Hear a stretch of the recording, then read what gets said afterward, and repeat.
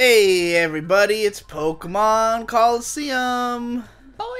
You didn't even see them coming anymore. Cause You said come.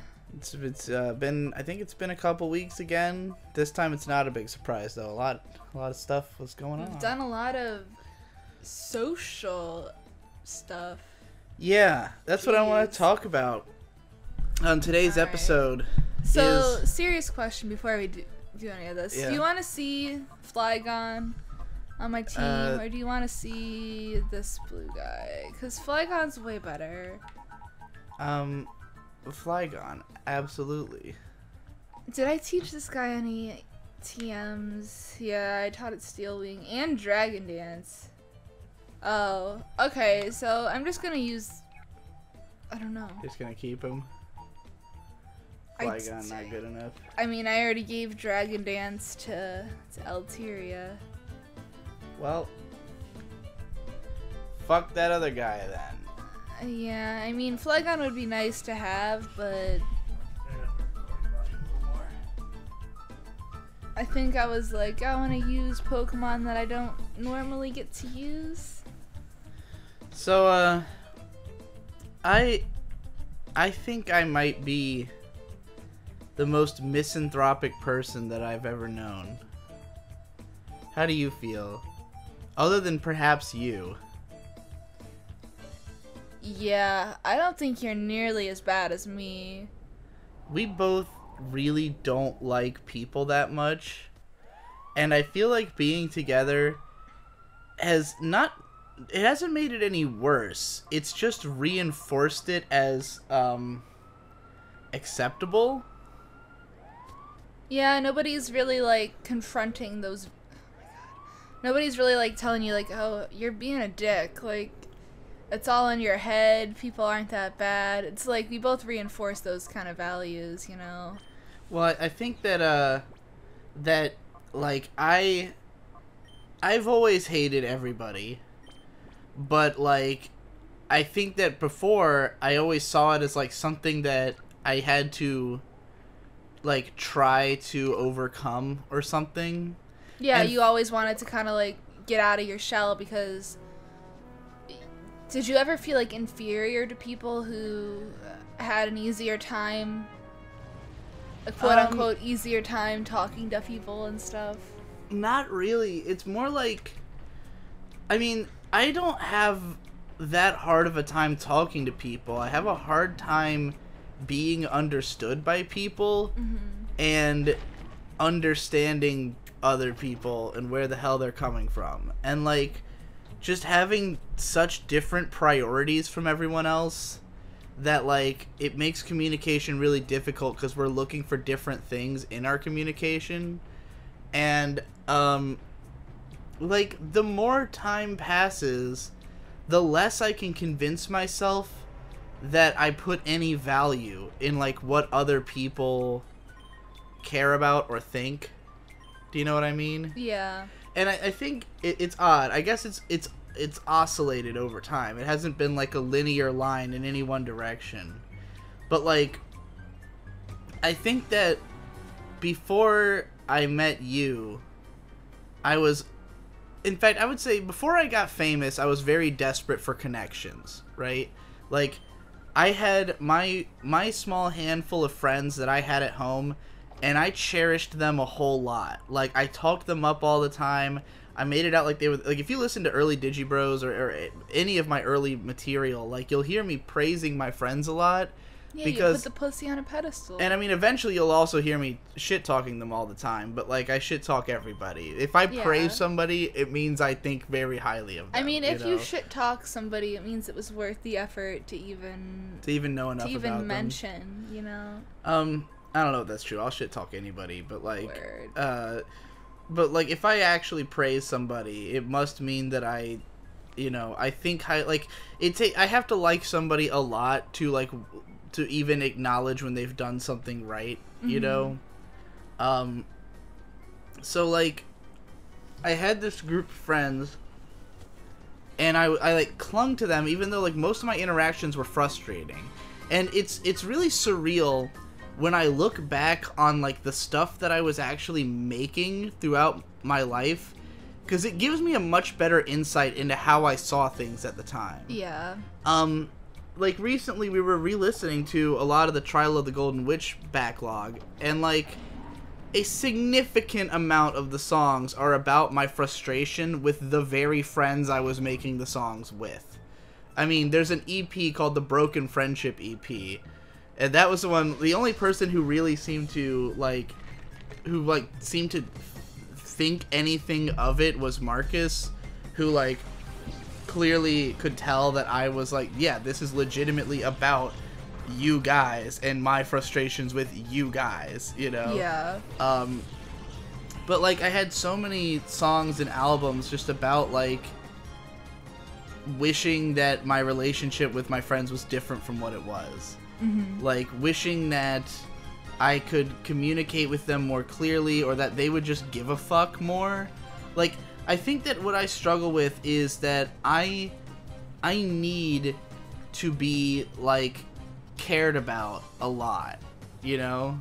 Yeah. Like I need to have some attention in my life where people like are really giving a shit about what I'm doing because it's hard for me to give a shit about what I'm doing unless somebody else also gives a shit about it. You know, I wrote um for a great example of that sentiment. It's a song um uh, I wrote this down which goes like me on paper like it lasts forever. Really all it has to pull is my lifetime. That's all that matters.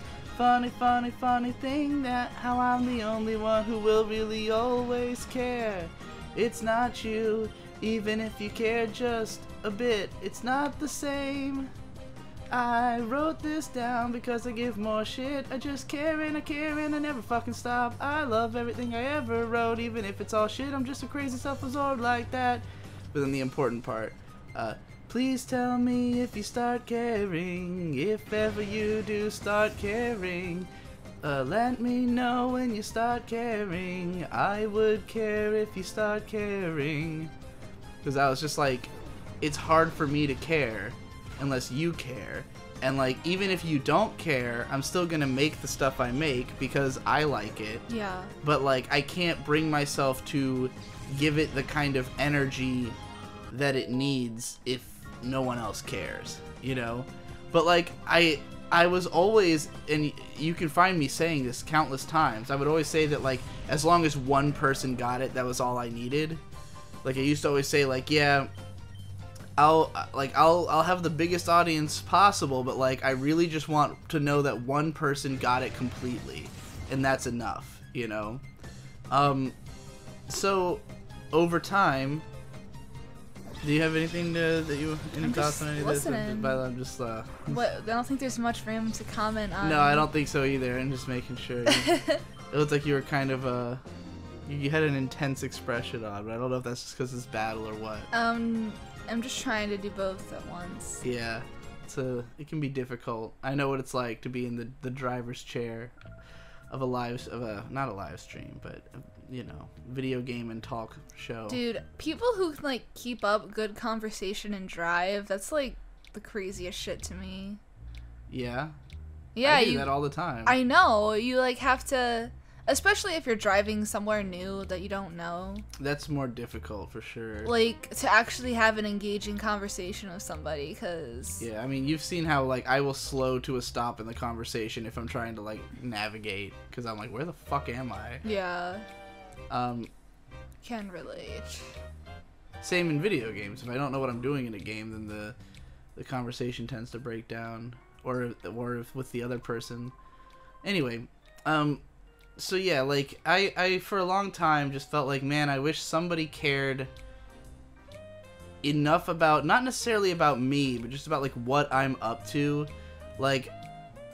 Because no one did. Like, I was making so much stuff for so long, and like none of my friends really consumed my content or had anything to say about it you know uh, my brother victor would he would he would like consume most of it but he, you know his impressions of it were usually just kind of like yeah that sure is a thing you made you know like especially of my videos, he would always be like, "It's just like listening to you talk," like you know, and I'm I hate that. I, so, so like, uh, or not even that he hates it, but that he's like, you know, that's all that's all he's grown up with. It's just normal to him to listen to me talking. So like, there's nothing special about it.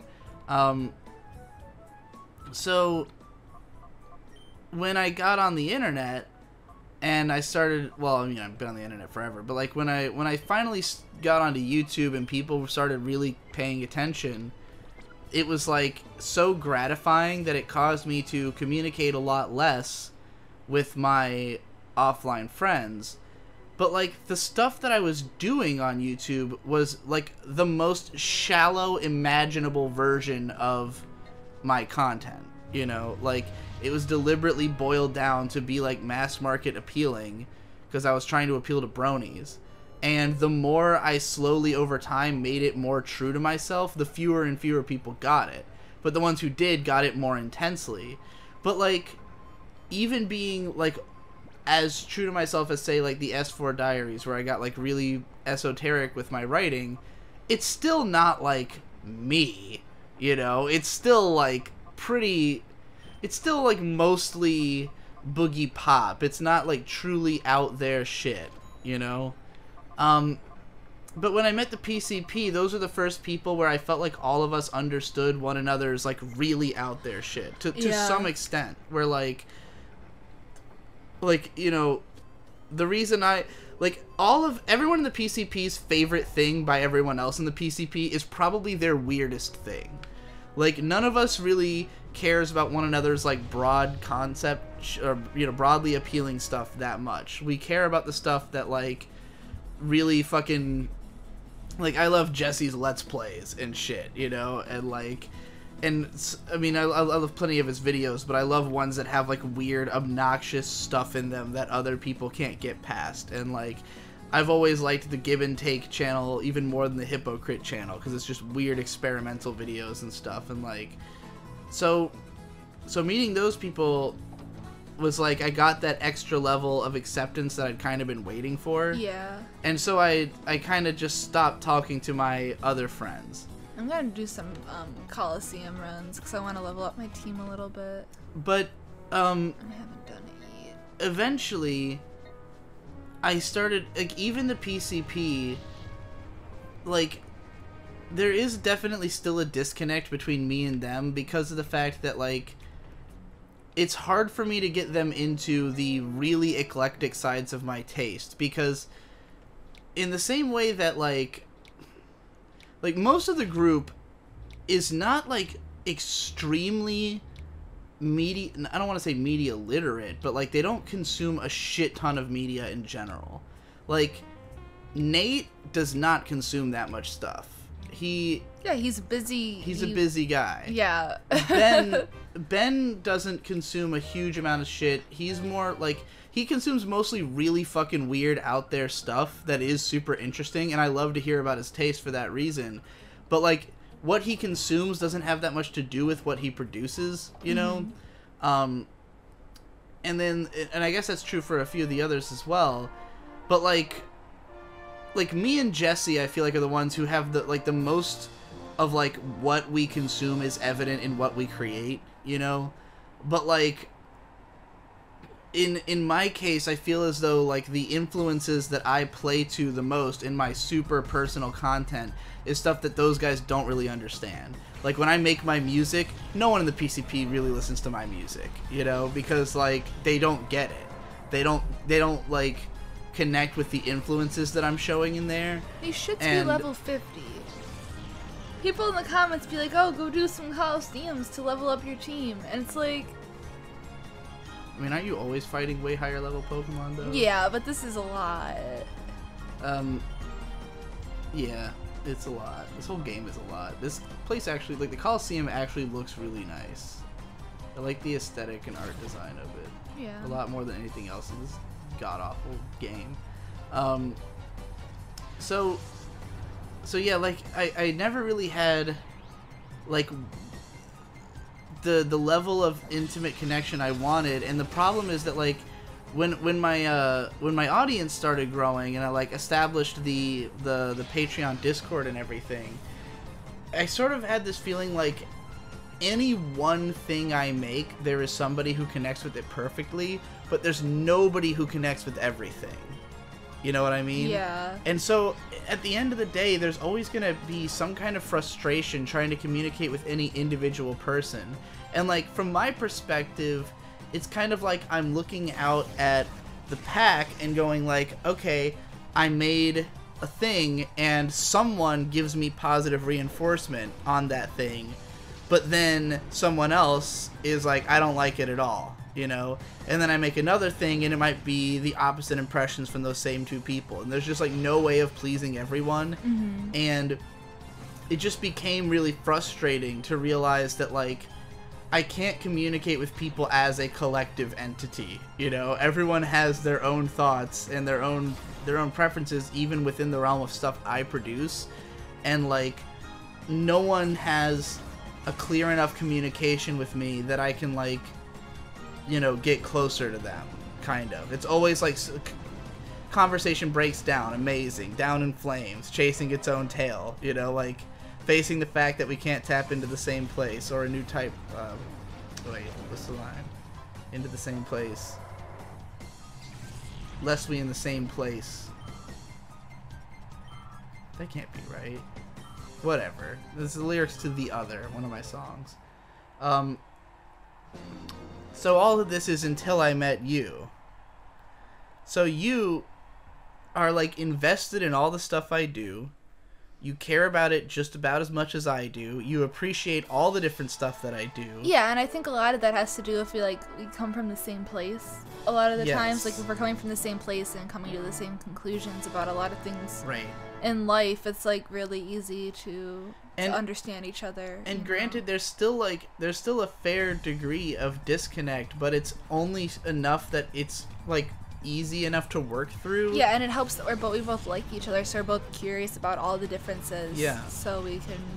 And I mean, like, because I I watch a lot of, I feel like most people come to the conclusion that like, that like, I don't know, most people just expect life to be more difficult than I do, I guess, because when I look at the world, I see. I see like the the I I see ideals. I'm very mm-hmm. much an idealist. I'm always looking at like what I think things should be like and I see people, for instance, in relationships where it's like they really love each other, and this relationship might even last forever, but like their communication is so terrible because there's just such a huge amount of divergence between their two viewpoints and understandings. And so communicating at all is constantly working through misunderstandings. And to me, that kind of thing is exhausting and is like the opposite of what I would want out of a relationship. But I also see why if if you're if you're just living like a normal life where everything just goes um, you know, by the books. Maybe you want that for some variety and spice. I think that might be why like there's sort of the stereotype that like women like a lot of women out there like enjoy fighting that like they try to find somebody with an opposite personality so they can argue with them and i think that's like bred out of boredom it's like because it can be fun it can be a fun challenge to try to see if you can like make your viewpoints you know if you can like change each other's minds or come to an agreement um you know me and my mom like i grew up arguing with my mom all the time and neither one of us gets that frustrated by arguing with each other you know? My dad gets frustrated listening to us argue or victor does but like me and my mom can just argue because of like the sport of it because we both want to be right so it's like a challenge to see like can i can it's not about actually being right. It's can i convince you that i am right you know? Yeah. um and like the better you know somebody the more interesting that push and pull is of like you know like how how what what fucking string of words do i have to put into your brain to make you see things the way i see them you know? Because what is the truth is irrelevant you know uh like in a lot of the time there is no truth so yeah like it's it's it can be fascinating, but like at the same time, if you have other things in your life that are stressing you out, then that's a lot to add on top of it, you know. And for somebody like me, Yeah, a lot of people like go to work and like the last thing they want to do is have somebody Yeah. fight fight their wants more. Mhm. Cuz like at work you're not going to get your way all the time and like you come home No. and like kind of expect it to be like at least Yeah. I would. I'd expect it to be like, "Oh, I'm home. I can relax cuz this is my like Yeah. place that I've built." and like for me having observed my parents you know like they my dad is very much like that like he's the type who if he has a stressful day at work he wants to come home and have no conflict and nothing in his way you Yeah. know like and he'll come home like steaming you can tell and it's just kind of like all right let's just stay out of dad's way because like you know you can tell that if you if you attempt communication at all with anybody, probably there's going to be disagreement involved, you know? And like my parents have always been like they definitely struggle to communicate with one another, you know, like and with with anyone. My parents are just like communication breaks down so quickly with them. They just don't know what information to convey to you. Like they're they're both sort of the type who they know what they think is going on and they just assume you also know Yeah. and don't really tell you what they think you are supposed to know. Um, which is why I know so little about how to live in this world. Like, over time, it's really, like, boggled my mind how many things I, in my adulthood, have observed that my parents were doing all along and just never thought to tell me. You know? About, like, how to talk to people or how to, like, live life and do things. Like, they've learned how to do all that stuff, but for some reason they just think that that comes naturally. They just don't think to like explain how to be a person, Yeah. you know. Um which I think has a lot to do with why I'm like this cuz I didn't I was not really given the kind of guidance I think most people are on like manners and like how to act around other people and like how to fit into society and like what to do when you leave school and grow up. And I think part of that's because my parents wanted me to be different from them because they were like, "Oh, our lives were hard and like you know, you're to you're smart, so you're just to go to college and you're to do everything better than we did it. So why would we need to tell you what we did when you're to figure out how to do it better?" And it's like, "From who? Who am I going to figure out? Am I just going to magically understand how the fucking world works?" I mean, I think a lot of it has to do with like their parents weren't able to like help them in that way, so That's they really don't know how definitely to pass on the torch. Right. Like, my parents were super. uh They pushed manners and like politeness and and those kind of like formalities that aren't really expected. Cause like Mm-hmm. I would always like meet people and they'd be like, "Oh, your kid is like too polite almost." They like kind of made me beta. Yeah. Uh, that's unfortunate. My parents like I mean, that definitely changed the more I got fucked over, the more I was Yeah. like, I think my I mean like when it comes to stuff like that, my parents kind of explained things in a way that was like here's how other people act, but you don't have to be this way. You know? yeah. Like there's a lot of that. Um but in any case, like so I, I think that for someone like me who has I kind of have like I don't want to say it's like the most stressful job in the world because it's it's fun and I like doing it. But it's like when you have to do everything yourself, it means that you're always doing your job in a way. You know? Like other people, this is something that me and Jesse have talked about a lot over the years that like if you work a normal job, you clock in at 9 and you work until 5 and then you go home and the job is Yeah. not there. And you don't really you. have to like think too much outside the box. You don't have to like like certain things are thought up for you or like have Yeah. been long-standing parts of the job. um, when you do a job like mine, all day, every day Yeah. is what is the next step? Like, what am I working towards? What's going on? Like, what do I need to change? Because, I mean, I think there's a lot of people who do, like, and, and granted, you need to remember that when I say my job, I mean my job. I am not a YouTuber. I am Digibro. Digibro's job is different from the job of quote unquote a YouTuber. Because if you are like someone who let's say I'm trying to think of like a, a very structured channel, like a very average type of channel. Like like I mean we could even go with PewDiePie, right?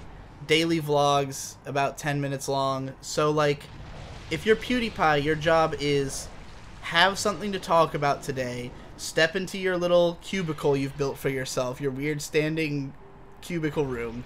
You know, record yourself doing this thing for a while, send those files to another computer, edit that video, and then it's done and you got the rest of the day. Yeah, or you can like break it down even even further to people who like just write a script once a week and send it Yeah. off to editors or like people who do a Exactly. news show and it's like they don't have to think about funny funny skits, they just have to like do the same shit they do every Yeah, exactly. every episode. So my job is having no idea at any moment what is going to be next. And so it's like constantly what am I doing next? What's going and like what should I change because I'm never satisfied with where I am. I always want to be doing even better.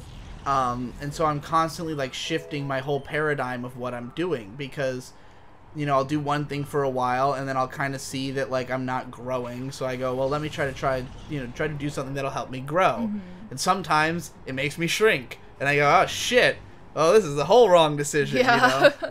and then like you know, and I'm also in a position where like there's just like stuff's always coming up that I that I have to worry about in my day-to-day life. So for me, the last thing I want to have is also a relationship where I argue all the time.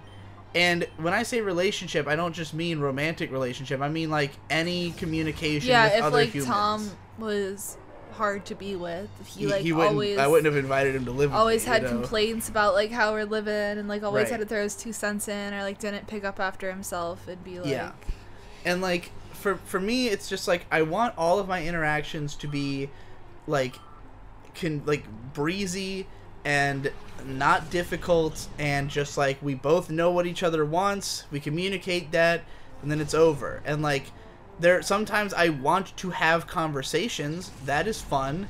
That can be fun. But like there's also a huge difference in the flow of conversations between people who get each other and people who don't. And if you listen to the PCP, you'll hear how sometimes because of the fact that like we're we're not quite getting each other, there are times where we'll have what feels like we're at the entrance of a conversation and it goes on forever. You can really see this in the uh, the the Deltarune episode, which I I still enjoy this. Like even when conversation goes this way, I think it makes for a good podcast because it shows you how far these two ideologies can break down and how divergent people can really be in their Yeah, thinking. yeah. You you would get this a lot on Biggest Problem in the Universe as well. Um, which is where like we were basically on the first point, but trying to get everyone to understand why everyone else felt the way they felt took like a fucking hour on this one point, you know? But then like if it was something where we had both understood where one another were coming from right from the get-go on that first point, the conversation could have progressed into a whole other realm of other things, you know? And so like when I talk to you, we cover an- amazing amount of ground. Like if you and I go for a walk and we have a conversation, we'll fucking tackle like 10 different topics in the span of an hour. Mm-hmm. Whereas like, you know, again, PCP like Deltarune, it took an hour to get past the first initial conceit that anyone brought up, you know? So like I do, so I prefer to communicate with people who I feel like I don't have to explain my logic every single time I open my mouth. And that is very difficult for me to find. There are not a lot of people who I feel like get my logic or get where I'm coming from right from the beginning. And so I feel like most of my communication, I'm constantly having to backpedal and explain myself in more depth. And like, especially like, that's something that has been frustrating for me with communicating with other members of the PCP as of late is that like I try to say something and it's like right off the bat we don't understand each other and now I have to break down why I'm saying that thing when I didn't want to get stuck on that, you know. And with you I don't feel that way like and I know it's not that you necessarily just like automatically agree with or understand everything I'm No, saying. you probably just let a lot of shit there's slide. plenty of things that like I think we both have completely different understandings of like uh-huh.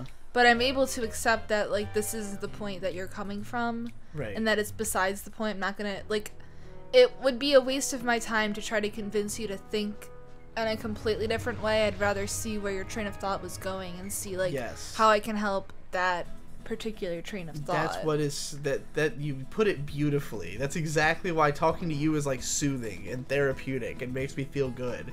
And talking to anybody else is a fuck is like pulling teeth. So like for instance, as a great example, um, there was a PCP episode where I was like Shit. It's Mayor B. I, I, I basically said something like, why would I um, read like the source of a book instead of like listening to someone describe it, like the points, you know? And like, it was kind of like dismissed out of hand as like an insane stance. And the thing is that I don't ever say anything that I couldn't back up with logic. That I don't have like a long amount of like of of you know reasoning behind it. But something I really can't stand is being rejected on premise. I mm-hmm. can't stand when someone tells me like oh, what you just said is insane. And then it's like instead of arguing about why I think that, I'm now having to defend the idea that the stance has sanity behind it. You know? Like I feel like conversation gets bogged down with me a lot because of the fact that again, yeah, I get rejected on premise. It's like the thing I said um just the other person like can't conceive of how it could be true and therefore they immediately assume it's untrue and that I am crazy. Yeah. And this is something I get a lot from my viewers that drives me fucking insane. Because I will express a thought or opinion online, and then I'll have viewers who act like I must have just come out of fucking nowhere with this and like I didn't think it through at all. Even though, like, when has that ever been the case? Like, the entire reason that I have this career is that I'm somebody who can make well reasoned and intriguing points and explain myself. And I'm down to explain myself when people approach with curiosity, not when they approach with rejection. When someone's like, huh, okay, I can see why you might think that. How did you come to that conclusion? Or like, hmm, I don't see things that way, but why do you think that? Then I'll be like, here's my explanation. When someone's like, Digi, how could you say that? Don't you know XYZ? Mm-hmm. Sh- how, how could you be so stupid? And It's like, just especially the PCP, Well, you don't like, get to know. They know they know who you are. They know what you stand Yeah. for. It's like okay, yeah, can we like we don't need to fight about this every single episode. I mean, when it comes to them, I'll just scream at them because I, Yeah. it, it's di- like, it's, it's not so bad with them because of the fact that I can scream at them. That like they are my friends, and I can part of the accuse them of being stupid, and I Yeah. can say like "fuck you," like listen to what I have to say. I'm smarter than you. Get fucked, you know. But like when it comes to my viewers, it's like I don't know how to not be a dick if I'm gonna respond to a lot of what they say. And that's where where conversation breaks down for me is that like I am an asshole. I do look down on people. I do like I do feel like a knee jerk revulsion towards most of what people say. And when I go to respond to people, like that's what bubbles to the surface first. Like the amount of comments or responses that I have deleted of like just a train of insults is in the thousands. You know, like where I mm. not deleted as in I posted it, but like that I wrote it out and then erased it. Like on all my videos all the time in my Discord and stuff. Like people will say something and I'll just start, "You fucking moron! How could you?" Po-? And then I just delete it and I just don't respond. Yeah. You know, because it's like it's like you're either gonna get that or nothing because like i'm not going to try to calmly explain myself if i don't feel like i've been respected in the first place Yeah. you know like you'll find plenty of places where like someone respectfully like asks me for more information or like disagrees but wants to know where i'm coming from and i give i'll, I'll fucking dedicate all day to those people. If somebody approaches with respect i'll give them fucking a 10 page response you know? I'll be like oh baby i'm sorry i gotta fucking respond to this discord message. But like when people approach with with that other attitude i'm just like what i'm not gonna fucking waste my time Yeah, on you if you if you're gonna act this way right from the get-go you know but ev- almost everyone's like that. And like it's just all interaction for me feels like i'm just being put through the ringer. It Yeah. always feels like i'm just struggling to churn through information. And i think that there was a point when you and i first started dating actually well, like we'll say a few months into us being together like living together i started to become like i was very much mr sunshine. I was like now that i've got someone in my corner somebody who like understands me completely and is and, and you know is communicates with me in a satisfying way now i feel like i can approach other people more openly. Like i feel like now that i'm satisfied like because it's like my uh my hit points are higher you know Yeah. like i can take a few more blows because i've got this extra shield protection on in a way um so there was a period of time where i got i had this like I had this big ego death thing when we were smoking lots of weed where I was like, my content isn't worth anything to me and I want to work with other people so I can make better stuff. Um, and I still think that I could make better stuff with other people. However, I also just hate people.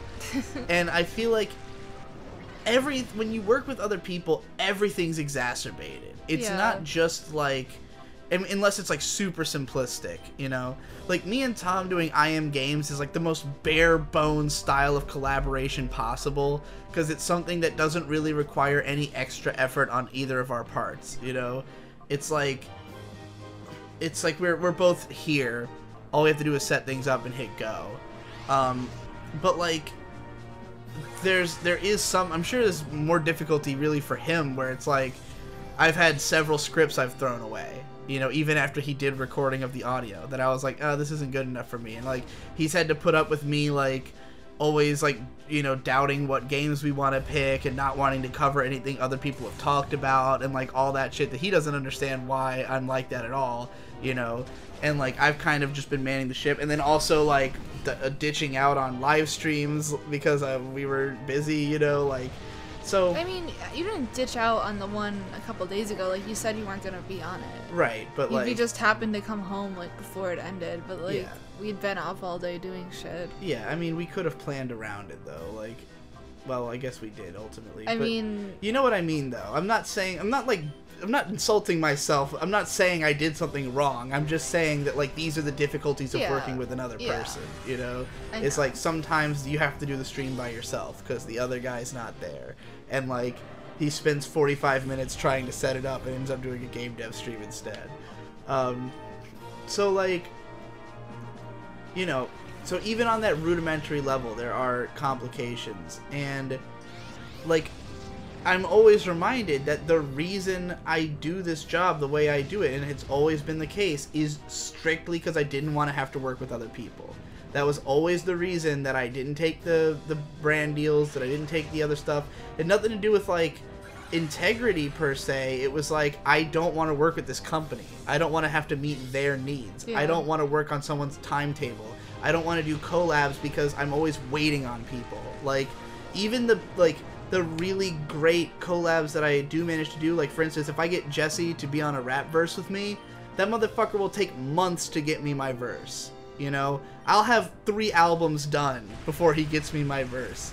Both Jesse and Nino it took like months to get their verses. uh, You know, each Not time we've done it, like, and like working with Devu, like initially was because it was very easy. It was just like I send something off to him, he gets it done. I pay him a reasonable amount. But now that like his whole fucking livelihood rides on working for me, it's been like way more complicated. It's been more of a, a strain, you know?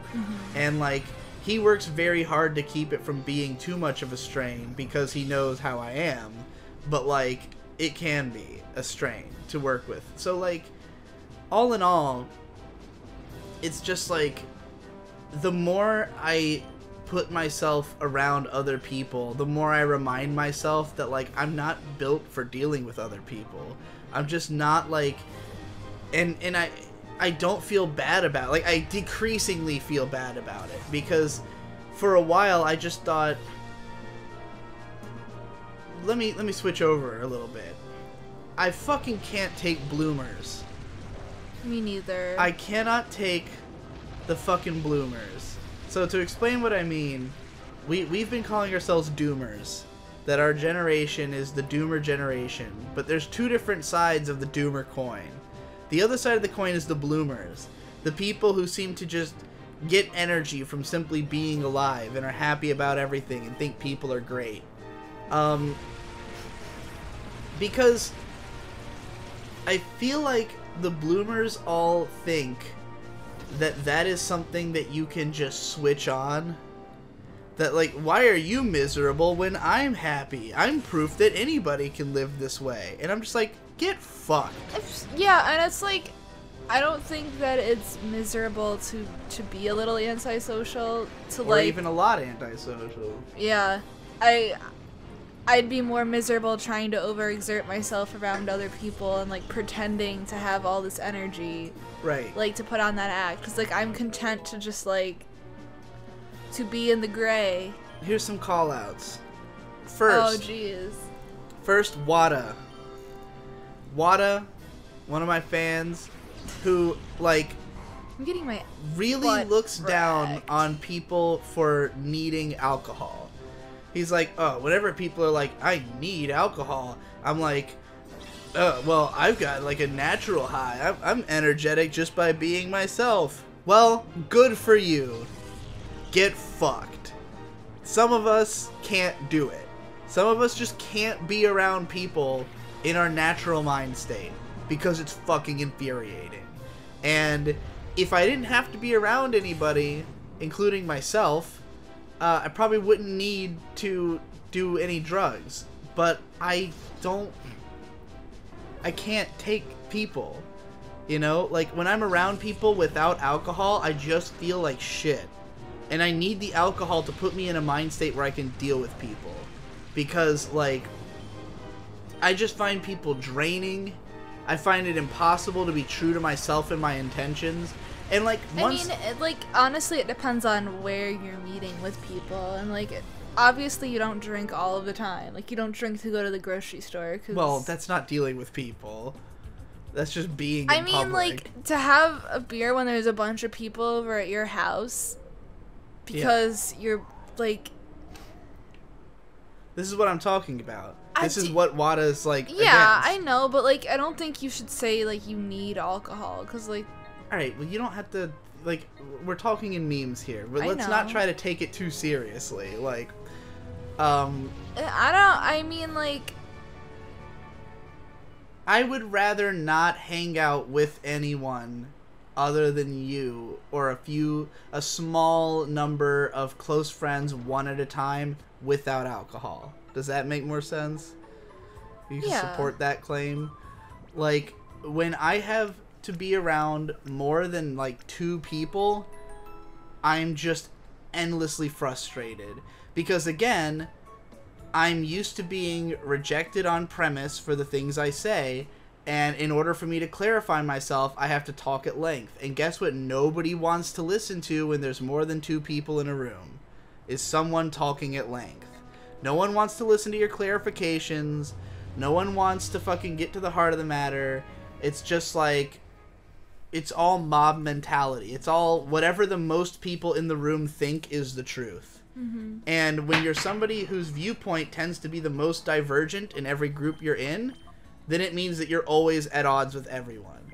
And you've got two options. You can either be sober and constantly strung along by what everyone else is doing because you don't want to argue, or you can be drunk and belligerent and argue the entire time, but it's fun because you're drunk.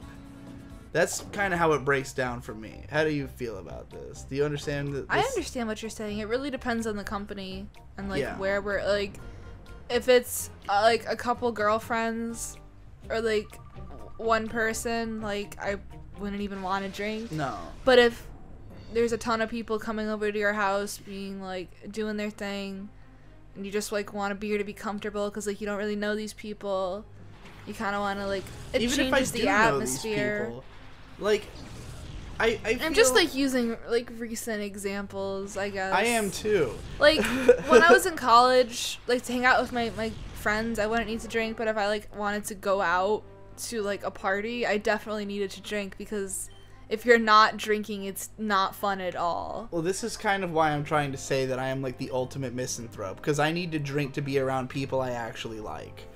Like even like when I'm around, That doesn't sound healthy. well, then I just I mean, what are my options? Not be around anybody or not drink. Probably like you know, limit how much you're drinking. Limit how much you're socializing. Well, that's what I'm saying. Either not Work be all around the people or not drink. I've already got the solution. I'm already living the solution. Yeah, I know. I mean, I don't drink all the time because I don't hang out with people very Yeah. often. Um, I do drink out of boredom as well, but like, um, but you get where I'm coming from here. Definitely. That like when when I'm around, like let's say, let's say there's three people and then me, so four people total. Like, and let's say that uh, all three of the other ones want to go to uh, Steak and Shake, and I'm like, Steak and Shake sucks, and everyone else wants to go there, then the it's not gonna be like, hey, why do you not like Steak and Shake? Let's try to come to an agreement on somewhere that you would like to go. It's gonna be like, you don't like Steak and Shake? Oh, fuck off. You know, it's gonna be like, yeah. it's gonna be like, oh, look, look at this guy. This guy doesn't want to do the thing everybody else wants to do. And when when I am in that moment, I'm just like, can I go home? Can I just go home? Can you guys all fuck off then? Like, I don't want to go do the thing I don't want to do, you know? And like, that's the situation I find myself in every time with anyone I've ever been around, you know, mm-hmm. with the exception of you. And like, and- and again, if it's just two people, it's it's not so bad. Like that, anyone from that same group, it might be different if it's me and them, because if they're like, "Hey, let's go to Steak and Shake," and I'm like, "I don't like Steak and Shake," and they're like, "Well, where do you want to go then?" And I'll go, "I want to go here," and then they might go, well, I don't want to go there, but we can keep going back and forth like that. But like because of the fact that it's just two people, there can be no mob. There can be no three on one. There can be no dog pile, you know? Yeah. And like because I am who I am, I'm always at the bottom of the dog pile, I feel like. Yeah, I so- would say that's fair. So like and again, like when you're at the bottom of the dog pile, you really have two options. You can either succumb and just do what other people want you to do, or you can aggress and try to bend everyone to your will.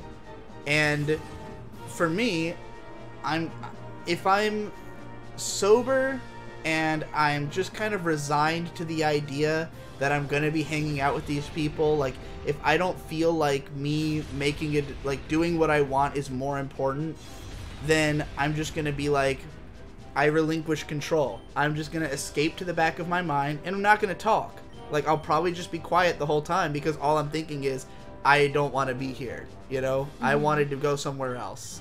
So like, I'm not having fun. I'm I'm gone. You know. Whereas like, if I'm drunk, I can at the very least be belligerent and let everyone know how I'm feeling. Like even if I end up getting roped into the thing I didn't want to do, and besides, it might be more fun because I'm drunk. It'll you know. most definitely be more fun as long as like you're not a sad drunk Yeah. or like I'm- being too belligerent. I'm not a sad drunk usually. I'm usually uh I usually have a good time when I'm drunk. Yeah. You know? Uh I've never gotten like crying drunk except for the one night I don't remember on my 21st birthday. Like usually when I drink I feel better unless I'm al- alone. That's when I'm a sad drunk, you know? Yeah. Uh, but like,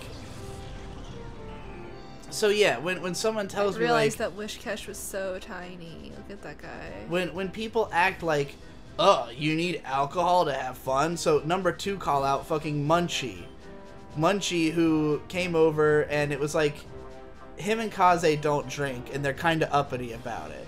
They're kind of like, you would think that we would want to drink, you know, like, oh, you you're drunk, okay, and it's like, yeah, I'm drunk to deal with you guys. Like, I'm drunk to deal with being trapped in a mob scenario where the people I'm hanging out with are Munchie, Ben, and Kaze, who all agree on everything and have the same viewpoint, and then Tom, who is neither here nor there, and then me, you know, and you, and like you just kind of, you know, are like in my corner, but like I'm I'm facing the the united front of these three people and their mob mentality. It's yeah, like they all gang up on you right. because So- like it's funny to gang up on Digibro. It's always funny to gang up on anybody who's that guy. Yeah. That's what it means to be the other, you know, Yeah. and that's what my life is about.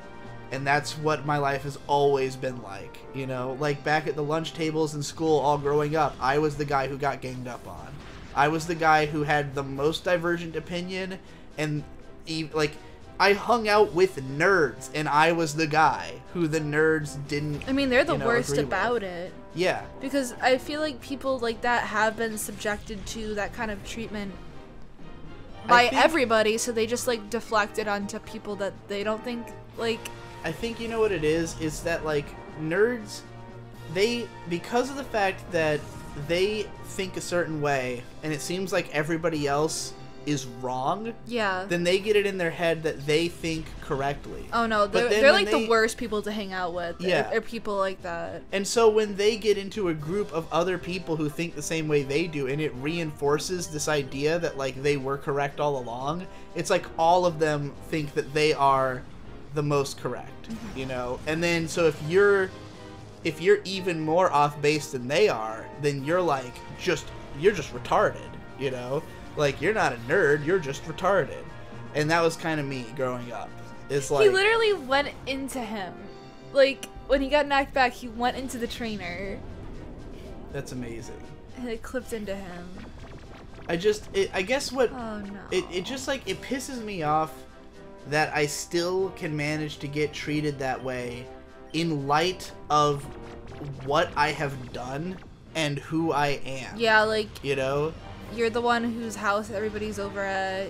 Like I'm- even with your I'm- friends, like back home, Amongst like anybody who I know, I am the most successful. I've gotten all the things I mean that that's I mean, that's why it's fun to make fun of you, right? I've It's gotten- I mean, I mean, it was like this long before I was successful. Yeah. But like, there's definitely an element of, especially among like my friends. I mean, now. that's why I think people do it now. It's just because, Yeah. like, I mean, it's not that big of a deal, but it's like, do you realize, like, this completely changes the atmosphere of what we're doing? And, Right. like, it makes it difficult to kind of. Yeah. Eh, why would you want to hang out with people who treated you like that? Like, Yeah. Exactly. if you're not part of the joke. that's like, how I feel when when like when when people like shit on me. I'm just like, well, th- I'm not having fun, you know, like Yeah. and but it just it's so weird to me especially with like when when people who who know me online like when i raise a point and it gets dismissed out of hand because it doesn't coincide with what those people already think i'm just like why would you out of pocket think that i am just being retarded like why would somebody who through the strength of their their thinking and decision making and general knowing what they're talking about and doing why would that person be the one you dismiss out of pocket right away You know, just because they said something you didn't immediately agree with. It's like, don't you think that person would have put more thought into it? Don't you think that that person is at least worth listening to? Not saying I'm always right, just like, why would you think that I am just shitting words out of my face ever? When all I do is think about things I'm going to say and then say things, you know? And so, like, and it, I, I understand some extent of why this happens in places like comments and on the internet is that everyone feels crowded. And i, I know this because sometimes you know i can accuse myself of having done this to people where like if you come into my live stream and you say something like eureka 7 sucks i'm gonna be like what the hell's wrong with you? You know like i'm just gonna out of pocket dismiss that you said that because of the fact that I know I'm not going to get a lengthier explanation from the fucking chat, you know, like if I met you in person and you said that, I might be like, you know, well, why? Why do you think I so? mean, and try to like engage a You're, conversation. you're doing a live stream. Like, it totally Right. derails whatever you were doing trying to entertain, like, a bunch of people. That person Uh-huh. is is not supporting their claim. They're just saying this sucks to, like, rile you up or something. And it's just like, hey, man. And I, I appreciate that I think some of the time when people do that disagreement out of hand, it's because they don't think they're going to get it. They're not going to get time. They're like, I'm just one in a sea of voices. So, like, rather than try to give a nuanced explanation of why I feel this way that you might not even read, and in fairness, I might not, but, like, if you give me the short buzzword version, I'm definitely just gonna think you're an asshole. Like, I'm not like you're the, the. It's not like if you try to get it in fast and say it mimetically, that's gonna make me more likely to respond. It's just gonna be more likely to piss me off. You know, um, and maybe occasionally that can result in me explaining myself, but like, you have to use the right words. That, I mean, that's ultimately what it usually comes down to. Is I'm only going to explain myself if someone approaches me with the right words. If somebody asks the right question or like phrases something the right way, that it triggers something in my mind that makes me know what to say in Yeah. response. You know. But um, for a different kind of, like, you know, I've been talking more about like me actually like actively active bitterness towards people, but even beyond that, like I just I just get drained generally from being in situations where there's more than like two or three people. Yeah, me too. Um it's called being an introvert. It's like an actual thing. There are people yeah, who I know. if you get your energy from other people and there's a lot of people like that you're extroverted but most people are introverted or become that way when they're older Yeah. And it's funny because I get tons of energy from being around you. But it's like like I get energy from people if it's one person. But like any more than that and it's just like you know, again because I feel like I I can't I can't explain myself. I can't explain my logic and I think too differently. And it's like if I'm in a group setting, you don't want my suggestion because it's not going to benefit the group. It's not going to be the thing you all want to do. It's No. not going to be the words you all want to hear. It's going to be, you know, something that if you are legitimately interested on a personal level and you want to spend time getting to understand, then that's one thing, you know, but like um for the most part, if I just want to like coast along with the group, I'm just gonna shut my my mind off, you know. And so for the last two days, we were celebrating your birthday and your dad's birthday by hanging out with your family, and like, they're all fine people who I don't mind being around. I just, I don't know how to talk to them because like, and with my family in particular i don't really think that we know how to talk to each other no, like we kind of hang out as a group but we don't hang out as individuals like we don't really have conversations with, with Yeah. each other about things going on with our lives we just kind of talk about what is And going on in the now More than that, everyone in your family is kind of evasive of doing that. Like, there's almost a feeling like nobody.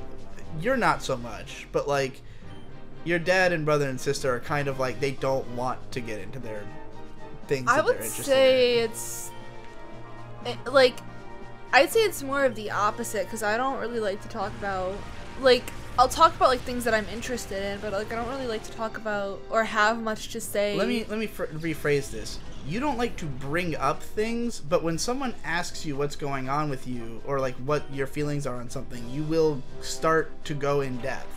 Whereas like I feel like a lot of your family if asked would try to evade the question and give as little information as possible. Yeah. because there's kind of a sensation you, you, your family is all very like ironic and like postmodern memey and stuff and they very much like to just be in this kind of nothing matters state of like I don't care about anything. What do I look like a faggot? Like I don't care about things. I don't do things, you know. I mean, I think a lot of the reason like we our my family tends to do events like go out somewhere for our birthday instead of like do something in is because Yeah. we want to escape from the stuff that like we don't want to talk about because it's just like whatever. Right. Well, I mean, in a, a lot of the cases, it's not. It's just not that interesting, at least to themselves. No. Like, you know, your dad's working, your brother's not working, Yeah. your sister's working. So it's like, I'm sure they all just want to go out and do something fun. Yeah, like my sister, like all she worries about and thinks about is work. So, like she's not gonna want to talk about it. But it's we. It, I guess like, it, I have a really difficult time putting myself into that kind of like chatty, small talky, mimetic mindset. Like, I'm not the type who can I just mean, like, I love I love hanging out with my family because like I would rather talk in memes. yeah. Like well, we that's just like make memes and, and jokes and that's it. like hanging out with you and your family is it's weird for me because like obviously you are comfortable with all of them because you know them and you know what that atmosphere is like and you know how to Yeah. like hang out with them. I'm just like lost. Like i don't know what to say or what to do or like how to be because i'm not used to that atmosphere you know? Mm-hmm. It's like again i'm used to unbroken soliloquy. Like because my dad talks the same way i do. My dad is like he starts rolling and he doesn't stop. You ask him like what's going on with work and you're gonna get a 20 minute story about what's going on at work you know he's gonna give you every minute detail and my dad does not know how to tell a short story so he will often forget what the point of his story is while he's telling it as will i um, Nice. my mom likewise. She's gonna give you a full like. My mom will come home from work and she'll just start going, and she'll talk for 45 minutes. You know, um, and if I have an idea that I want to communicate, I'll do the same. Um, all in every one of our cases, the rest of the family is not going to pay attention through that entire story. But like that's how we communicate is long, unbroken stories about what's on our mind. And so like when I'm with your family, it's like a lot of japes and and jabs and like you know making fun of each other in like funny little ways and like quips and I'm not like I don't have the mental faculty for that. I don't like think that way. I don't think in like I don't go around expecting everything to be funny all the time, I guess, you know? Like I don't know how to put it. Um it's like every once in a while I have a funny thing that I can throw in and well, you know it really does have to do a lot with like how I grew up because it was always like if you were funnier, you got more attention. yeah Like we didn't really like we did talk about serious stuff, but like things were kind of hard for my family for a bit and yeah. I was like living with my mom was kind of out of the picture, living with my dad, and my dad isn't really kind of, uh, you know, he's he's not really the kind of guy that will have a deep emotional talk with you, but like you can still talk to him, and like I Yeah. I love my dad, and like I don't wish he were more like that because I'm not like that either, right. And yeah no I don't think I think it's all yeah, like it's watching your family it feels like it makes sense how everyone communicates. It seems like everybody's comfortable that way. Yeah, it's it's more of like a comfort thing, and yeah and i just it's just it's really i don't like, know how to be a part of it it's you know? difficult to kind of like if you grew up in that kind of environment it's difficult to sometimes switch switch gears and like right. you kind of have to find people who are also kind of like that which isn't there are people like that hmm but if you're the one person who's kind of an asshole people are gonna be like, uh, "Are you just like a bitch? Do you think you're better than everybody else?" Like, no, Right. I just like to make jokes. Like I, I usually my jokes are self-deprecating too. Like it's not like I'm I'm making fun of or attacking you personally. It's just like I will, you know, I'll jump on a, a chance to say a joke yeah. And like because I'm like I don't know, like it's it's easier for me to to do that than try to eloquently or like not even eloquently because sometimes I try that too hard and people just it goes over their heads and I feel like Right. hurt. But like I don't really like know how to have small talk because yeah. not only that do I not know how to have it, I just don't value that kind of conversation and like I mean, and part of it is that like the way, like, I think it's normal to have like everybody in a group mostly be like jokes and jabs and stuff, but like, I'm just not really acclimated to your family's sense of humor because, first of all, I mean, it's very like conservative humor, which I didn't grow up with at all. So for me, it's like, you know, I don't know how to keep up. Like, there's a lot of the things that are said in your family as jokes in my family might give you a, get you a sidelong glance you know like a lot of things that would be like a room silence. Yeah, not not because of edginess my family's edgy as fuck just in a different way yeah, no, it's, it's They're edgy I about mean, different that's kind of the point, you know? right? Like like your dad might spectrum. your dad will be like oh fucking lib cucks and my mom will be like oh fucking conservatives you know like and they're they're both just gonna dismiss that other side out of hand but like it just means that i hear certain things from your family that i have to think about it to realize it's funny you know? Like i have to often think about it to go okay that's funny you know? Because like it's not something i've ever heard pitched as funny. It's stuff that i, I the mean- people who i grew up around would think was unfunny you know? Yeah, but like not that i think it's unfunny just that i don't register it as a joke. I register it as like huh. Oh okay yeah all right i guess that's funny I've been in tons know? of situations where people have like completely different political views and like ideologies and stuff and I mean you get used to it like if you watch the daily show you can still think it's funny. I don't like Colbert Report like and I've like he has like has his own talk show right now. Yeah. But like I can't stand that show's Colbert. awful. Um I think he's like you know bankrupt and shallow but I could like enjoy the Daily Show. I could en- I enjoy SNL. i don't like the daily good. show by the way just for the Um, record uh I like South Park, even though it's kind of like you know progressive humor, but i don't know if i like south park has always been just like um I- anarchic yeah, but I mean, like uh, like Comedy Central, anything that's on that is like they're writing for a particular audience.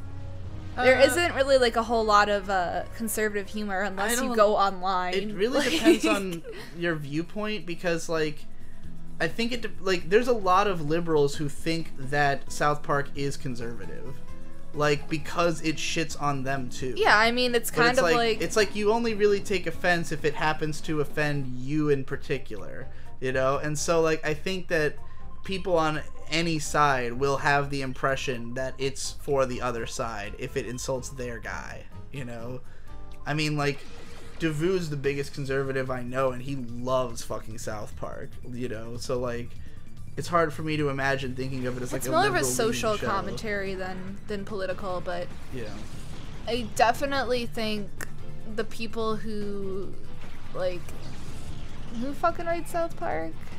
Trey Trey Parker, Stone. Yeah. They definitely are not like super conservative. Well, no, But but, they they are- also they're, not like- super liberal. Yeah, they're, they're fine. I, I'm not saying that like I don't know what I'm even saying. It's just like I think it's funny that you find it difficult to kind of make those jokes because I usually feel that way whenever I hang out with anybody. Like, of what? Like, oh, that that's funny, but like I don't think like that. Yeah, no, I feel that way around everybody. like, I feel that way about around everybody except for basically the PCP, and we have a very distinctive style of humor that I wouldn't expect anybody else to really understand, which is why it's funny that like. Like the PCP has always been a, a, especially the podcast has always been strange because we've always treated it like something that would eventually get big if we just made it better. But like the reality is that like it is inherently cult because we're all just fucking insane. Like there's no wider audience that's going to understand the humor style of the PCP. That's never going to happen. It's never going to grow to the level of like you know, like the Dick Show because the Dick Show appeals to like a much larger demographic of comedy. And like if you want to understand how, just listen to like me calling into the Dick Show. And like you immediately realize how like the style of podcast that I would fit on is just so different from the style of podcast that that show is, you Yeah. know. And like You guys are way younger and you know, are definitely like different values, different different audiences entirely. I, I think it's a lot to do with just that everyone in the PCP is very much about like we want to be as obs- like we think it's funny to be as obscure as possible. Yeah. Like, and I don't mean that in the way of like just referencing obscure stuff, though that's part of it. Like, just the more inanely bizarre something that comes out of your mouth is, the funnier it is. And so, like, we breed memes instantaneously out of like, like when we you know, when when me and Munchie and Nate were at Anime Expo, the big meme that emerged was that GIMP can do anything Photoshop can do, but better and for free. And literally all night, Munchie and Nate were just back and forth making GIMP jokes for like hours on end. And like I can easily imagine why someone else would not even think it's funny at all. And then we start referencing it on the podcast and we'll do it all the time because we think it's funny. And it's mm-hmm. like how many people out there are gonna think this is funny the way we do? Like, how many people even know what GIMP is? Much less why it's funny to suggest that it could do what Photoshop could do, but better and for free. Like, it's pretty funny. it's really hilarious Like, if you know what GIMP is. I think I what, think a lot of people will you know know what it is. If people are listening to YouTube podcasts, they're But probably would they think it's funny to just insist that it's better? Like I just just just that's the whole joke is just insisting that GIMP is better than Photoshop because it can do anything it can do but better and for free. Which part of the joke is also that it's not true. You know, that Yeah. like GIMP cannot do everything Photoshop can do. Um but like and we took it so far memeing on it but like yeah it's it's just it's all very obscure and i feel like i you know a big part of why i can hang out with those guys is that we all think that kind Why of shit is are is the worst Pokemon in this game Shadow Pokemon? Sunflora? funny yeah. Sunflora? at this stage in the game like Why? What are you doing to me, game?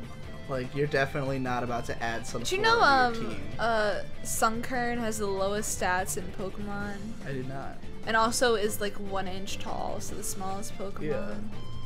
Um, have i said enough about mis- misanthropy do i need to say have i Do you have more thoughts on it? Cause like for me, I just can't buy into the idea that people have more to offer me than than what I've experienced. Like Yeah. sure there's a time and place to be with people, but Right. I I don't go out looking for you know what people You- to share things with you've me. got me yeah you, you've set me up for something perfect um, because i used to have a motto and it's weird that i forgot this sort of and like after we came to boston it kind of hit me big time that i remembered this sentiment that i used to always say i don't feel much need to travel the world because i don't see what makes other places more interesting than the place i'm in like i don't see why other than for sheer variety's sake I don't think any one thing is necessarily more interesting than any other thing.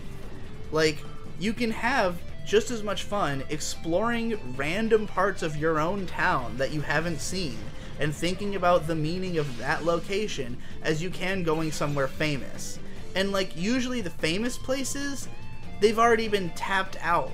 Like, everything that there is to know about it and why it's interesting has been said and like there's a tourist industry built there and like you can't just experience it in a sort of personal way because it's been structured around being experienced you know whereas like some of my Yeah, most you're not gonna go back in time and experience the Colosseum the way it was intended. You're gonna Right. have the crafted experience that the tourist tourist bureau in, uh, Right. in Italy has crafted for you.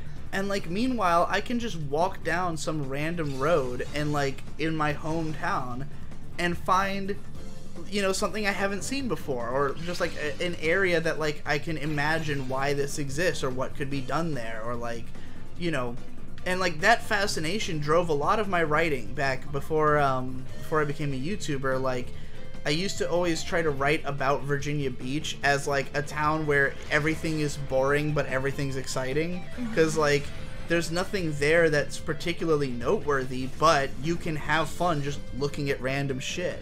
And like I think that I attributed too much of my boredom with Virginia Beach to the city itself as opposed to the fact that I just wasn't hanging out with anybody anymore.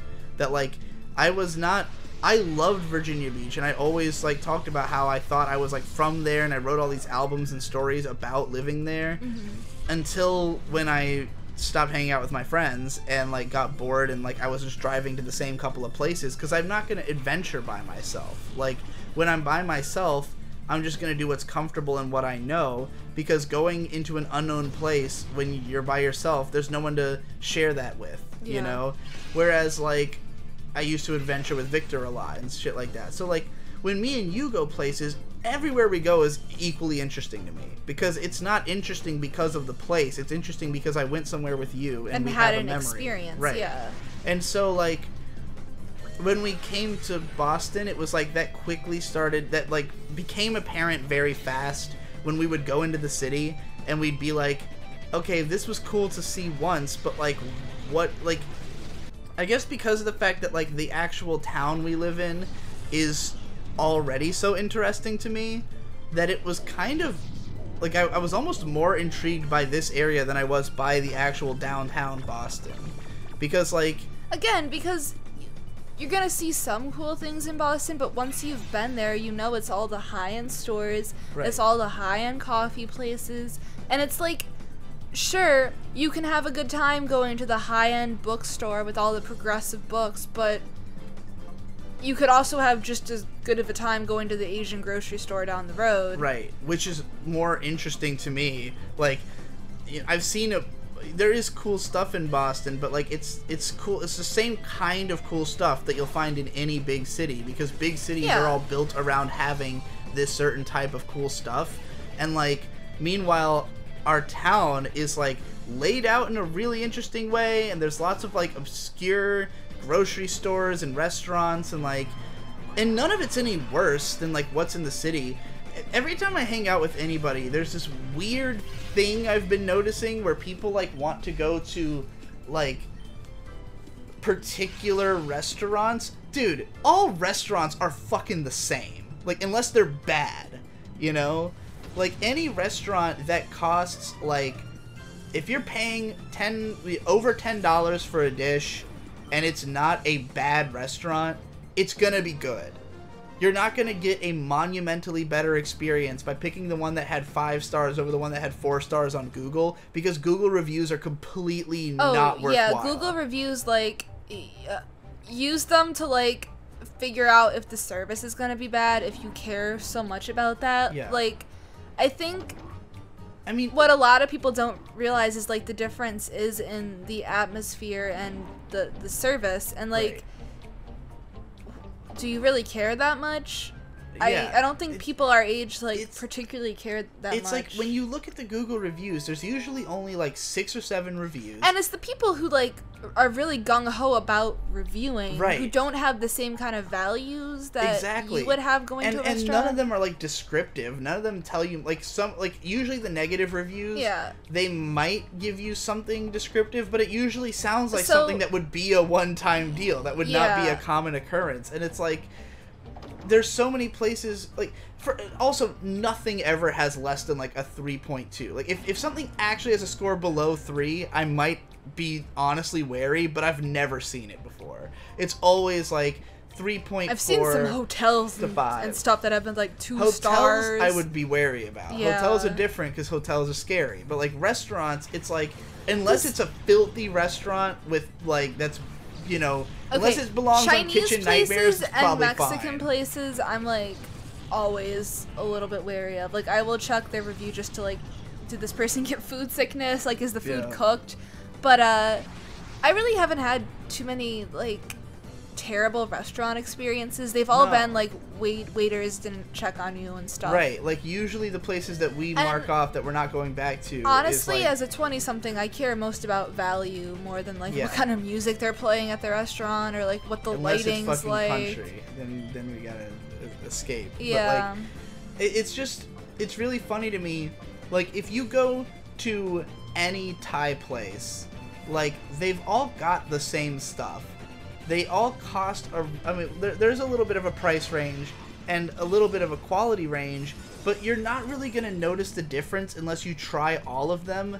And it's not going to be a linear experience of the one that was higher rated was the better one, or the one that was more expensive was the better one. It's like you have to find the one that just cooks things the way you like. yeah. You know, like three different places might cook their their basil fried rice a little differently, or they might present it a little differently. But like, there's no objective standard to judge them against. It's just like go to all three, and which one did you like the most? You know, um, so it's really funny to me when people are like. Let's go into the city and go to this like restaurant. I'm like, dude, there's like 80 restaurants that are great within like a fucking th- stone's throw of our house, you know. Um, I mean, some like to me, it wouldn't be worth it to go all the way into the city of Boston for a restaurant No, not because there's plenty of places here that we haven't had experiences with, and Yeah. like to me, I would like to. And to eat at all the good places. Like, there's good restaurants everywhere. I mean, okay, I used to live in Tulsa, Oklahoma, and there was not a lot of restaurants. Not Tulsa, uh, Muskogee, Oklahoma. Tulsa's like the city next to it. You could like go to all the restaurants if you lived there a month and like went went out twice a week. You would you would honestly go to all of the restaurants there, but that's not like a I mean, uh, the thing is though that like you can go like I thought when we moved here that like variety of restaurants was going to matter to me that like oh it's cool that there's like a hundred restaurants we could try but the reality is that once you find one you really like in a certain category it's like why even go to another one like when we moved here i was really excited about how many thai places there are but the one that's right by our house is super good. And, and so the it's like atmosphere is great. Like so why are it's we like gonna should we drive should we drive 15 minutes to the next one just to try a different one? Or should we just drive 3 minutes to the one we already like? Like why why would we need to go any farther you know? And like back when we lived in Rochester we lived I would really say far that, out of the but way. that place doesn't have very good curry. No Like I, when I got curry there, I well was if we like, want to try huh. curry we should go to a But they one everything else they have is like really good if you just like wanted like meat and rice. But Yeah. Like it's just yeah, I mean it'd be fair to say like let's go to a different one and try their curry, you know, and see like and then when you have a craving for curry, drive all the way out to that one, but if you don't have a craving for curry, drive to the one closer. These are all fair things to to consider. Um but there's also the matter of like how often do you even eat each of these cat like Thai food is not cheap. It's no, it's you're not, not, going like a, to Thai food once so- a week. Right. So like if we're only going once every 3 weeks, I'm probably going to get the same thing cuz the whole reason I'm going is I want to eat that thing, Yeah. you Yeah. know. It's like I'm either going to get the basil fried rice and a and a tom soup or I'm going to get like a green curry and a tom yum soup, you know, like it's, it's going to be one of those pretty much. So yeah, I just don't think that like having a huge variety of restaurants is really all that helpful unless you have banging money. And it's funny because when we moved in to Rochester, I had banging money, and variety of restaurants mattered to me because we were eating out like every night, and so I wanted to go to a different place every night.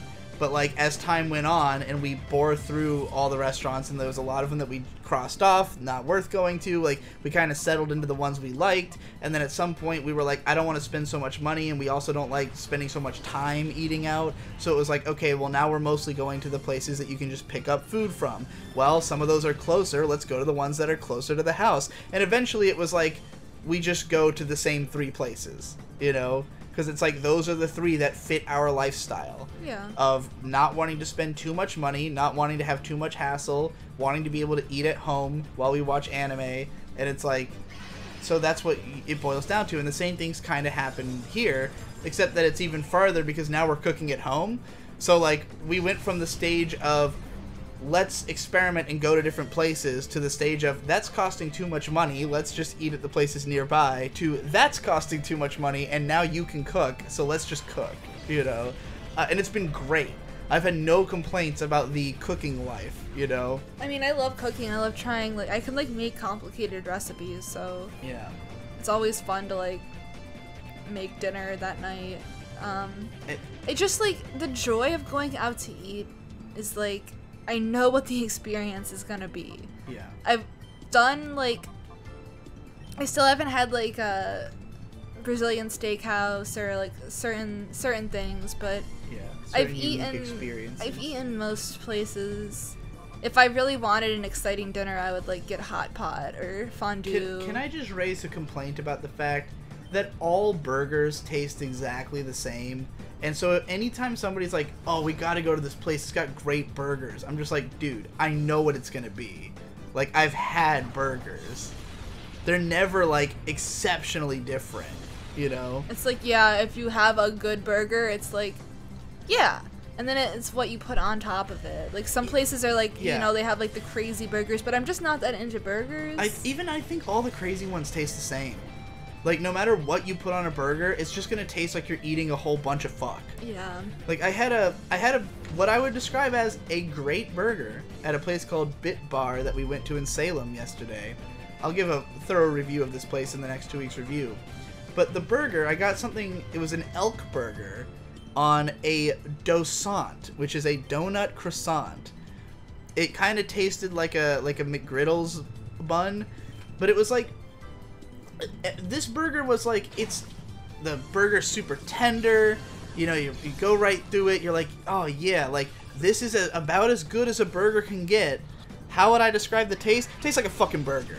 Even though it's a different animal entirely. it's just a fucking burger. Yeah. it tastes like any burger. Like the the dough sandwich tastes just like if you had gotten syrup on your burger or if you had gotten like fucking some other shit like you know all the toppings like they always just coalesce into the same flavor. It's like you can either get a burger that kind of tastes like barbecue, a burger that kind of tastes spicy, or a burger that tastes like, you know, the lettuce tomato stuff, or like a maple burger. Like, those are the only four real categories of burgers. It doesn't matter what combination of flavors you put on there. Like, you're never gonna taste the bacon it's always gonna be like you get a hint of bacon infused in this mush of everything else you know? Mm-hmm. I don't know i just feel like burgers always taste exactly the same and any anytime like i've been to so many places that people have told me have great burgers and they're all the same place it's like yeah of mean, course like- burgers aren't hard to make you know no, that's the thing. They're not hard to make, and like you can you can make them pretty well at home. it's really just about how good the beef is Like, yeah, how how good the quality of the meat is and how you season it. But you can like literally say that about anything like steak. Yeah.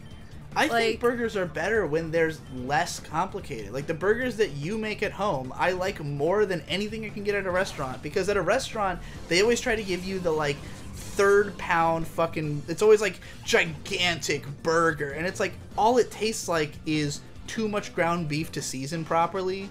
Like it just tastes like I'm eating a lot of grease. And like there's so many toppings that none of them are distinct. Like my favorite burger is like well seasoned, home cooked burger that's like regular size and just has ketchup and cheese on it. Yeah. And it's just like you really get the taste of that ketchup, you really get the taste of that cheese, and you really get the taste of that burger, you know? And like that's what I want. I want all the taste to be like front and center, not like muddied in all this other bullshit that just tastes like a grease explosion and makes your hands disgusting afterwards. I don't know how this became a burger rant, but that's Just where I talking about like you know restaurants and restaurants, because stuff. I I'm- guess like the romance of restaurants is kind of you know it's waned it. for sure. I mean, I like doing it because I- when okay when I was at college and like I ate at a dining hall like every day, going to a restaurant once a month was like oh yes.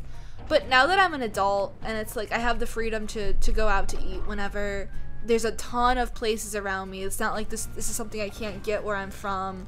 It's like I've Yeah, it's the restaurant experience. Yeah, I you're in a place. for me it was a combination of like before you and I started dating, I was very lonely and I would get tired of being in the house all day every day. Mm-hmm. So I was like I want an excuse to go out somewhere and also I want to eat good food because I didn't know how to cook and nobody in my family does. But like those two things don't matter anymore. Like going leaving the house is not like some some huge deal to me at this point because like I'm satisfied in the house. I'm not like I don't have those feelings of being like lonely and cooped up and like oh god I need a change of scenery or I'm gonna die. You know like I I feel fine. And then like we can make good food, so it's like I don't need to go out to get good food.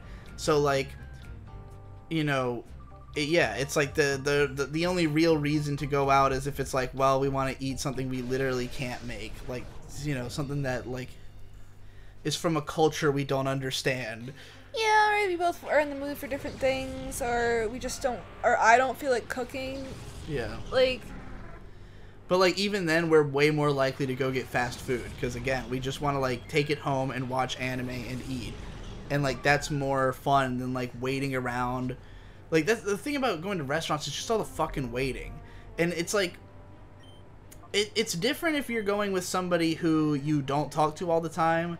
Like Yeah. if I had a if Victor came up and we all went to a restaurant and we were like chatting about our fucking you know day. I mean, I think this is how most people go to restaurants who don't go regular like you know all the time. Like I mean, okay, so there's old people who like go as a couple to restaurants every day because they don't have anything better to do with their money. right, Like, I think that's what restaurants kind of exist for primarily is to like service those old people. But like with you and me, it's like when we go to a restaurant together, it's like we have nothing to talk about because we live together and do everything together. So there's no catching up to do. It's not Yeah. like oh, what have you been up to today? It's like we were literally sitting next to each other. We're so just like, in that phase of life, and I think that Yeah. will change. It could The, be the busier we get, or if we have kids, it'll be like a date night kind of thing. But right. for me, like, there's no reason to like. I like going out to lunch because sometimes like it's, it's a good Yeah. change of scenery, and you get like the lunch discount, and it's And it if you want to have something years. besides a sandwich Right. or like a bowl of cereal, like yeah, lunch is fun. But like going out to dinner to like a family restaurant, especially, like why would I even want to do that? Oh fuck family restaurants. Like, why would I want to go to Friendly's when I can just yeah, make don't like- anything on the menu? I do not like home? family restaurants at all. Um, But that's what a mid-priced restaurant usually is, Right, unless you're going to get like foreign food. um, yeah, I guess. Uh, I guess this is all just my like disillusionment with the idea that there is more to the world than what I think there is. Like that. That like. I think that a lot of people view the world as being really big, and I don't at all. And I've made this point countless times that I think the world is small, and that like you can see it all pretty easily, and most of it's not that different from each other. Most of it's kind of the same shit in a different toilet, and like, you know, you can go to all the five star restaurants and they're gonna serve you the same dishes. Yeah. You know, you're gonna you can go meet people in different places, but they're all gonna act the same. They all they're all gonna have the same mindset about things in general. You know, they're just living their life. Most people are just living their life. Most people are fucking boring. Most people are not doing anything horribly unique, and even if they are, you can figure out, out what they're doing from a distance. You know, like I really do like people for the art and food. I wrote that years ago and it's it's only become more true. Like and so something that occurred to me recently that I really wanted to like kind of codify and like live by is the idea of communicating with people just through my art. And I include something like this in that because from an outside perspective and the way that these Like videos like this communicating, like actually, like not just surface level things, because you have to communicate certain things to, to live, right but to communicate like what's actually in your heart and what you're thinking Yeah. about. I think the best and really only real way to I guess I mean when I'm communicating for the sake of communicating. yeah Like to do it via because just talking to people individually is just frustrating to me, and I don't feel like I get enough out of it I don't feel like I have a real need for people to know what I'm about or what's going on with me because why would I? Like I've got you. You are satisfying the need for on my part to like have somebody understand me and to feel that sense of like kinship and camaraderie that I need, but I mm-hmm. don't need that from more people. I don't need to have a posse. I don't need a group of people.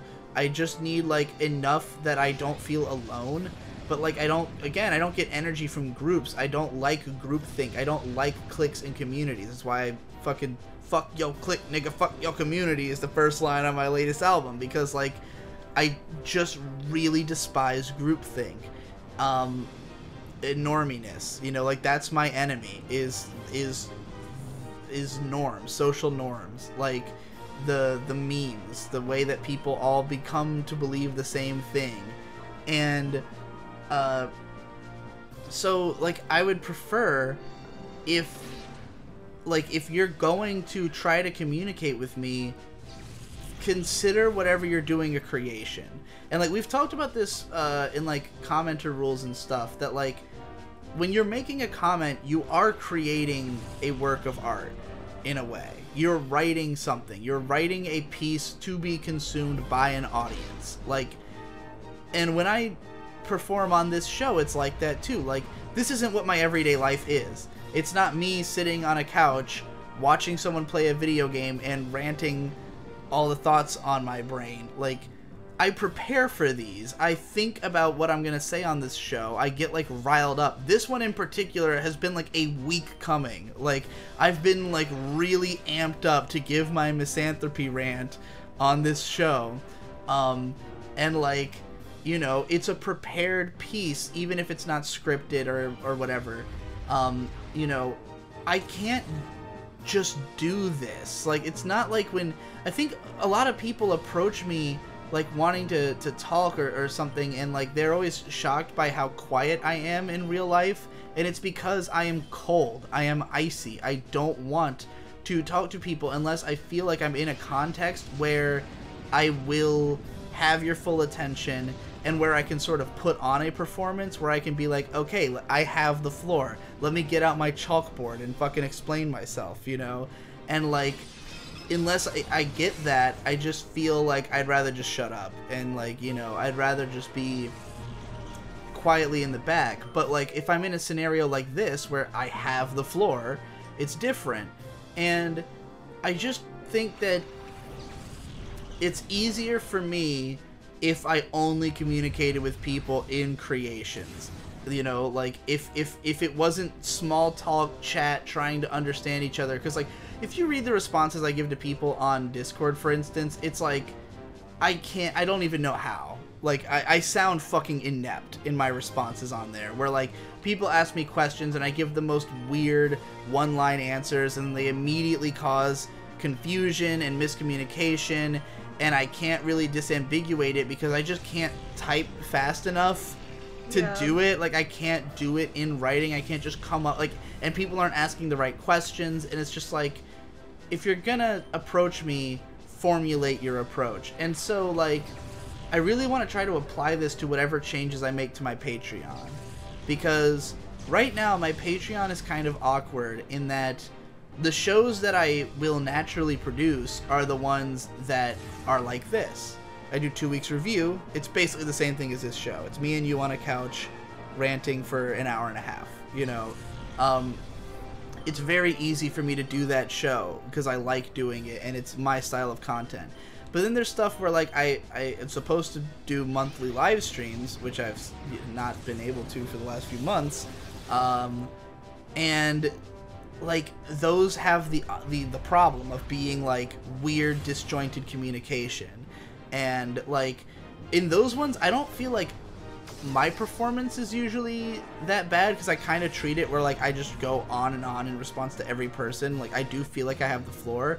But like it kind of created a scenario where you could only ask me a certain sort of type of question like something that would make sense in this context. And like now that i'm doing live streams all the time anyways it's not you, really you anything have on the offer. opportunity to ask the question at any Yeah. time. There's no particular reason why this live stream would Be special. yeah, would make that answer any different. Um And it, you also kind of like the whole live stream relies on what people are asking in the first place, which doesn't really make for an interesting piece of content anything. for the, for the Not that that it needs to be interesting, because I think what people like about it is a chance to to talk with you, and like what a lot of people do is they like, oh, I'm gonna play a game, and you can play a game with me and be in the call or something. yeah. Like, I just want to. I want to find some way to formulate my Patreon around, like, around the type of communication that I am comfortable with and good at, so that it will happen more. Because like stuff like the the Discord, like there is a community in there, and uh, like you know, I, I it's not like I want to get rid of it or anything. I think it's fine for what it is, but like I just don't know how to treat it like a patron reward. I don't know how to like participate in it myself and make it like I can't be at the center of something like that. I can't be at the center of a group of people talking to each other in words because if I could, I wouldn't need a Discord group. I could just go join an existing group of people and communicate that way, you know, mm-hmm. like there's no real purpose to a group centered around me other than that it can group together people who all you know who think somewhat similarly in that they enjoy my content but like and like understand where you're coming from. They're not gonna Right. like fight you. Like, oh, you don't like people. Yeah. What is wrong with you? You need to get out of your room more. There's something wrong with you. Like, Yeah. I don't like what you're doing. It's like, no, these people are uh, supporting, not necessarily supporting this behavior, but like understand that this is how you are and doesn't Uh-huh. really impact the job that you're doing. yeah and that's that's the other thing is like um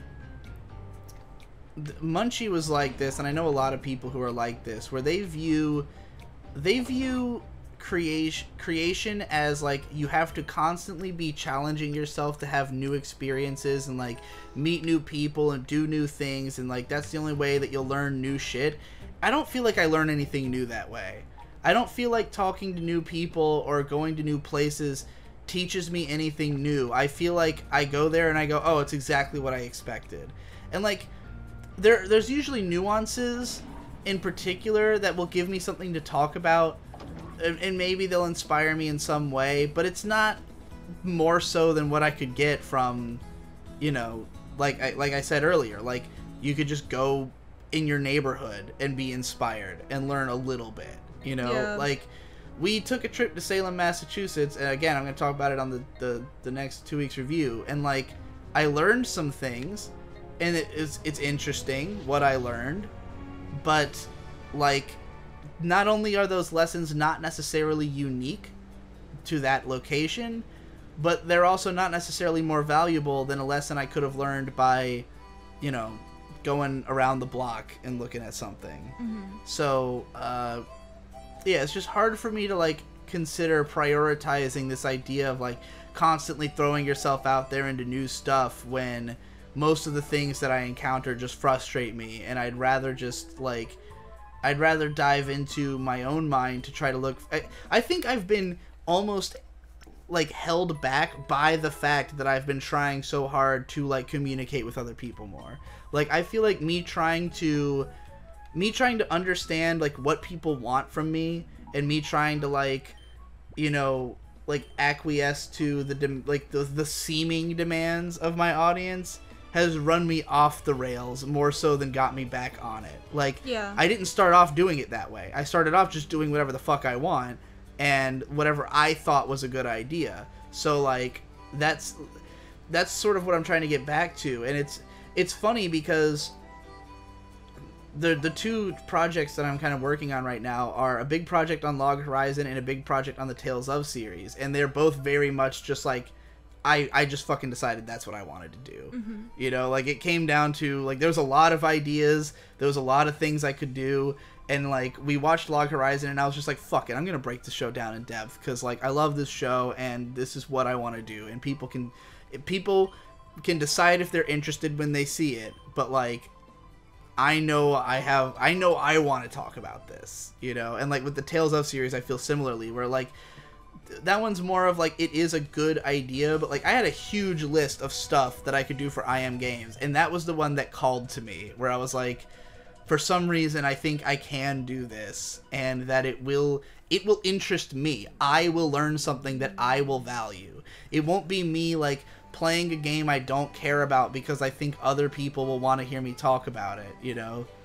Um, it will be like, no, I want to know, I personally want to know how all the Tales games have changed over time. So I'm going to study it and I'm going to figure it out, you know? And that passion is kind of what makes your videos like so great. Yeah, and it's what will drive me to do like real research and go all out where like Which is what people, you, You know, know, really value from you. so yeah I, I hope that'll i hope that it'll come through and uh, be interesting but like yeah i'm i'm i'm just like burrowing I'm tunneling, tunneling, tunneling, tunneling, tunneling, tunneling, tunneling, tunneling. And like I, I also I haven't been like really explaining myself in the depth that I used to on like the decisions that I make because I've I've just gotten so again, it's like I've gotten tired of having to bridge that gap all the time. Like I'm tired of always having to explain myself, of people just assuming that there was no logic behind what I did, and then I have to explain the logic, and they go, "Oh, now I get it." And I'm like, "Why don't you just come at it from the beginning with the approach of there must be logic here. Let me try to understand it." And that's usually that what will inspire me to talk about my logic. It's like when I see someone else make an attempt, and I'm like, "Oh, it's really interesting that you thought that, but here's what the real intentions were." You know, like mm-hmm. that's what inspired me to make the Ghosts of Win- Midwinter Ballers uh, breakdown. Was like that guy made an interpretive video, and I went, "Well, since you tried, let me show you what I think." You know, Yeah. but like, um,